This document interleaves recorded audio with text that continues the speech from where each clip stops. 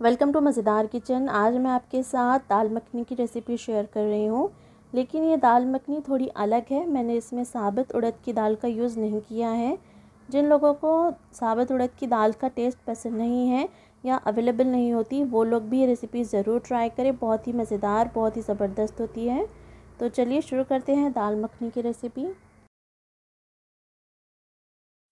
सबसे पहले देखिए, साबुत मसूर की दाल को अच्छी तरह से धोकर कुछ देर के लिए भिगो देना है। तकरीबन आधा कप दाल है ये फिर कुकर में ऑयल और बटर को गर्म करना है। अब दाल मखनी बना रहे हैं तो बटर ज़रूर ऐड करें। फिर एक टीस्पून आप ज़ीरा ऐड कर दें और प्याज डालना है, बारीक कटी हुई। तकरीबन डेढ़ सौ ग्राम प्याज डालें आप। साथ ही नमक भी ऐड कर दें थोड़ा सा और लो फ्लेम पर आपने प्याज को पकाना है। प्याज को ब्राउन नहीं करना है, सॉफ्ट करना है। अब इसमें साथ ही खड़े मसाले ऐड कर देंगे। हाफ़ टी स्पून शाही ज़ीरा डाल दे, तीन लौंग ऐड कर दे, चार से पाँच काली मिर्चें डाल दे, एक हरी इलायची ऐड कर दे और थोड़ी सी दालचीनी डाल दे। सभी चीज़ों को लो फ्लेम पर ही भूनें आप और प्याज का कलर जब हल्का सा चेंज हो जाएगा, तब आप इसमें एक टीस्पून अदरक लहसुन का पेस्ट ऐड कर दें और कुछ देर के लिए भुनें ताकि जो स्मेल है अदरक लहसुन की, कच्ची स्मेल वो निकल जाए। फिर थोड़ी हल्दी डालें। एक टीस्पून लाल मिर्च का पाउडर डालें या फिर आपके टेस्ट के अकॉर्डिंगली ऐड करें। एक टीस्पून कश्मीरी लाल मिर्च का पाउडर कलर के लिए। साथ ही डालेंगे हाफ़ टी स्पून ज़ीरा पाउडर एक टीस्पून धनिया पाउडर और इन सभी चीज़ों को देखिए, भूनना है। लो फ्लेम पर ही भूनें, वरना मसाले जल जाएँगे। अब मैं इसमें ऐड कर रही हूँ टमाटर। तो बहुत ही बारीक कटे हुए आपने टमाटर ऐड करना है, तकरीबन 200 ग्राम। और टमाटर को देखिए, अब हाई फ्लेम पर आपने बहुत ही अच्छी तरह से भूनना है। जितनी अच्छे से आप ये टमाटरों को भूनेंगे, उतना ही अच्छा दाल मखनी में टेस्ट आएगा। और देखिए, टमाटर आप देख सकते हैं ऑयल छूट रहा है, लेकिन मैं और भी इसे भूनूँगी। और जब आपको लगे कि जो टमाटर है नीचे लगने लगे हैं तो आप क्या करें फ्लेम को लो कर दें और लो फ्लेम पर ही टमाटरों को कुछ देर के लिए भूनें। अब आप देख सकते हैं टमाटर कुछ इस तरह से हो गए हैं अच्छी तरह से भून गए हैं तो मैं इसमें भीगी हुई साबुत मसूर की दाल ऐड कर रही हूँ अच्छी तरह से मिक्स कर लेंगे और पानी ऐड करेंगे। पानी ऐड करने से पहले एक टीस्पून कसूरी मेथी ऐड कर दे।